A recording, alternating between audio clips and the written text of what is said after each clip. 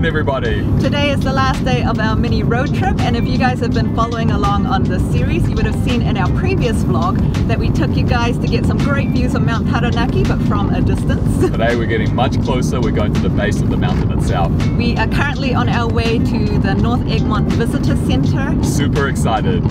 Let's go. Man, I'm so pumped for this being able to see the mountain like right up in front of you. Come here during winter. I've seen pictures where the whole mountain is just covered in white. Since we're here in first week of October, we're pretty lucky because we get to see classic mountain formation where you imagine like a mountain with a snowy peak and then the brown mountain bottom as well. So beautiful. So inside the visitor center, you can find a lot of great information about the different walks and tracks. We are going to go do the Veronica loop.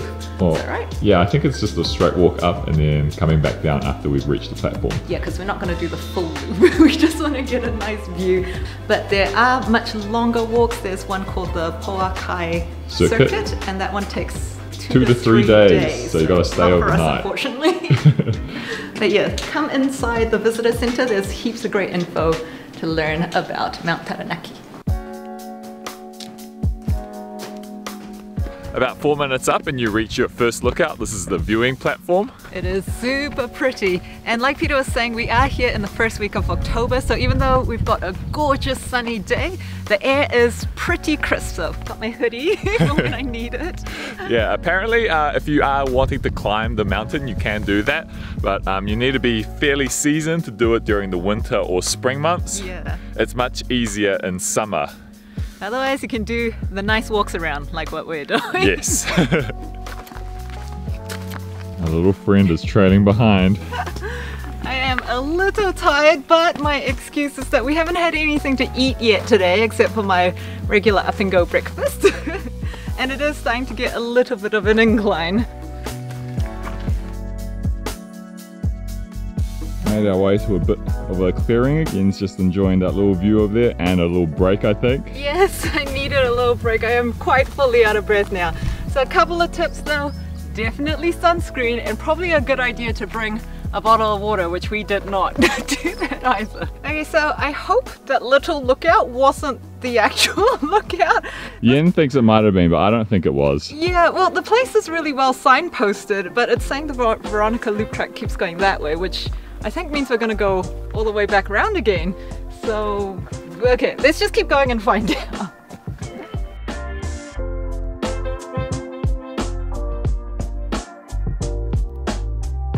So what do you think? Was that the lookout point? Well, we are standing there starting our descent now, so I think you might be right. It was either that little ledge or that little bridge. I'm not 100% sure, but since we're going downhill again, That yeah. means we're doing the full two hour loop because originally we were just gonna go up and go back down.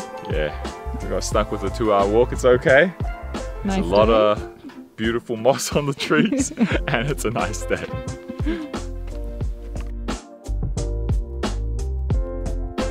So we have been on the descent for a little while now and we are headed back to the visitor center. Yeah, it was uh, pretty good views of Taranaki. It looked like, because there were some low-bearing clouds, like a farm or city inside the sky, plus being able to look back into the massive Mount Taranaki was pretty epic too. That was some great views. With the actual walk though, you get some steps that are quite irregular. So you get ones that are really tall and maybe some narrow pathways as well. But it was still pretty manageable regardless. Yeah, you do have exposed tree roots along the way too. So just be a little careful, but otherwise it's a pretty easy walk. Jeez. So after a lot of decline, for some reason, there is an uphill again. and a fair bit of it, so just be warned about that. I guess in the meantime, I'll give you guys a couple of facts about Mount Taranaki. It last erupted in 1854 and the volcano is a dormant volcano, but it's about 120,000 years old. Oh, thank goodness. Made it. We're back to that hut area where we were at the start. Oh my gosh, that took quite a while. It was, and that unexpected uphill again. Oh man. Worked up Anyways, quite an appetite now. Yeah, let's go get some food. We've been looking for somewhere to eat. we went to this place called Volcano View Restaurant, but unfortunately it closes at 1.30. Not the restaurant's fault, it's ours because we didn't plan our time accordingly. Now we're in Inglewood. One of the restaurants that we wanted to go to was oh, closed, closed. on Tuesdays. it's 1.30 right now that I mentioned that. We're gonna find something. I think it's 2 o'clock now. Okay, we're gonna, yeah, we're, oh, well, hopefully we find something. Peter something. can't talk anymore. I'm losing the plot, guys. I need food. Past a whole bunch of shops that were closed or closing. Then we saw a Subway and we're like, ah yes. But then we found a sushi place. So we're gonna go Lifesaver, for Jin a sushi.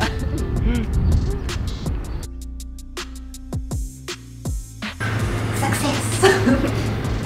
There's a couple of hot foods. They are like bulgogi and chicken katsu and all that. Um, because we're here quite late, the cabinet's a bit empty now, but we'll get hot food anyway. Oh man, I'm so pumped to have this bulgogi beef bowl. I'm actually salivating from the smell of it. Even more excited. Okay, get some rice, get some veggie, get some beef. This looks like the Life-saving. life-saving bite right here.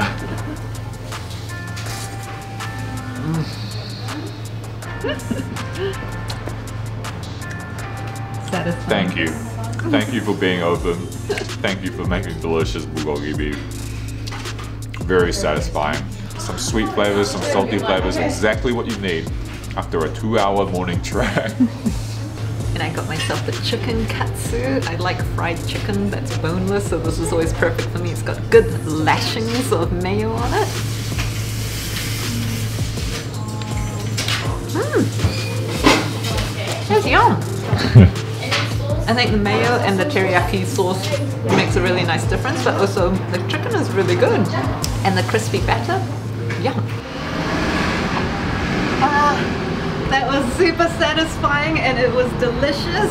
This shop is um, Su Jin's shop and they've only been open for about a year and a half, she was saying. Yeah. But yeah, so cool to find a good Japanese slash Korean food store here in Inglewood, Man, my stomach is full and ready for the next activity. which is Dawson Falls. Dawson Falls. Let's head over there.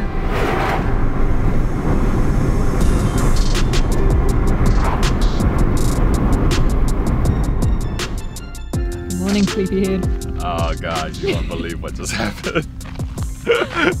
so I don't know, this must be an age thing or something, but uh, Yen and I arrived here and we were joking to each other about how wouldn't it be Needed good a nap. to take a nap right now and somehow I fell asleep and then Yen decided it was funny to take footage of me being asleep and she was like, I'm not gonna fall asleep and guess who fell asleep as well?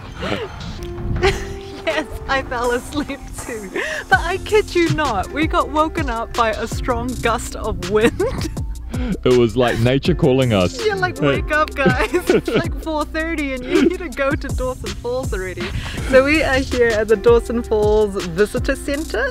Um, it's not open every day, so you just need to double check. I think it's something like closed from Sunday to Tuesdays. Not sure. We'll leave the details in the description below. Anyways, we are going to go do that short walk to the falls now.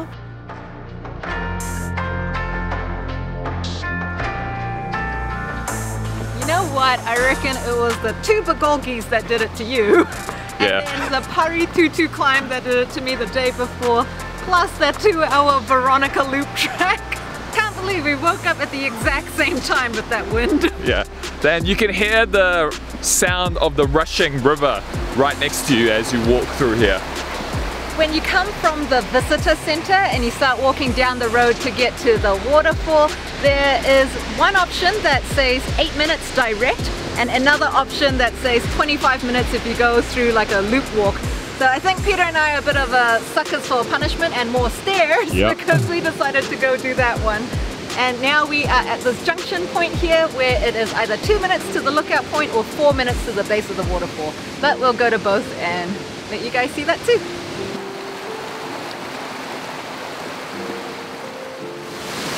Here at the base of the waterfall, we found this epic stone that you can sit on, where you can do pictures where you're like praying and stuff, you know, just like the Kung Fu movies. I've reached a new level of enlightenment. Fight the final boss.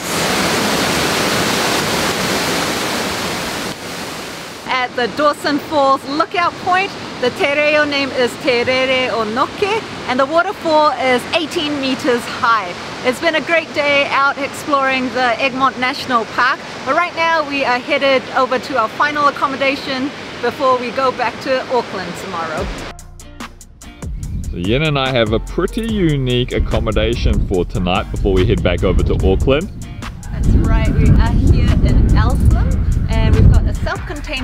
self-contained that is on a magnificent piece of farmland. You can see heaps of cows. We got greeted by a very cute little puppy before as well, but she's she's wandered off now. Yeah, Yen is going to take us through the room that we've got for the evening. Yeah. And if you're interested in it, we'll leave all the details in the description. And it was $113 a night. Come in. So it is very nice and clean. It's also cozy too, which is great. We've got a heat pump as well in case it gets too cold, but it feels quite warm, so Yeah. I'm not sure we even need it. We've got a very modern bathroom as well, which is super nice. And then our bed, just down here. That's so cute. We've got some little welcome chocolates. Yay! We are going to wrap things off here because as you all know, Yen and I are getting a little bit sleepy already. That's what happens when you reach your mid 30s. You need naps in the car in between activities. so on all the things that we did on this road trip, what do you reckon was your favorite one then? Oh, that's tough because we did get to see a lot of amazing places, but I think maybe the natural bridge for me, that was pretty epic. Yeah, that was awesome. And I would have to say Paritutu Rock for myself. Yeah, that was Because of the you know mountain climbing kind of aspect of it all. We also got to have so many great views, like at Lake Mangamahoe. Yeah, seeing Mount Taranaki, you just don't get sick of that. It's an amazing mountain. Well, anyways, guys, if you have enjoyed following us along on this series or this episode, we hope you will give us those likes, subscribe if you haven't already, drop us a comment, love hearing from you, and also please do share our video as well. All these stuff helps our channel, so we super appreciate it. and until the next road trip, see everybody. Bye.